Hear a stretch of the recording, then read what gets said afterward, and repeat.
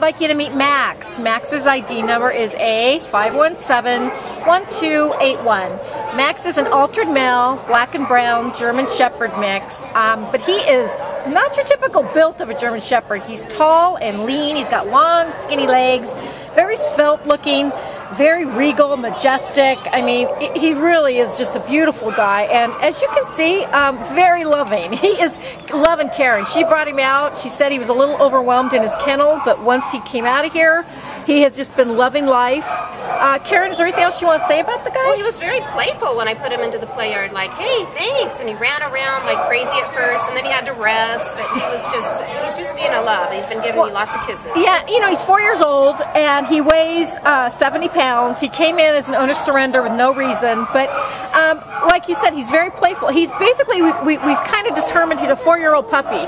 Um, he needs his puppy training basics. He pulls a little on leash, but he we don't think the previous owners did a lot of training with him. But what a sweetheart! Um, Karen said he's very, very smart. He's he'll he'll just he'll listen to anything you want to do with him. Um, he tries to please you. Um, you couldn't get a better dog than this. I mean, this guy is wonderful. Um, remember though, with the with these kind of breeds, that they need exercise.